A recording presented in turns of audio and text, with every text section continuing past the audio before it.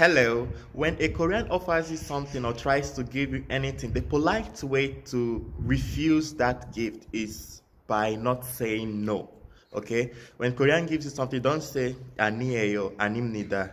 Rather, you say kenchanayo.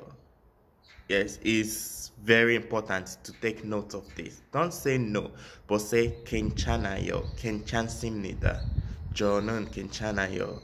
Okay? Kenchanayo means it's okay is okay. Whenever you say no, you're trying to, you're not just rejecting the gift, but you're also rejecting the person giving you that gift. That is how they reason. Stay tuned.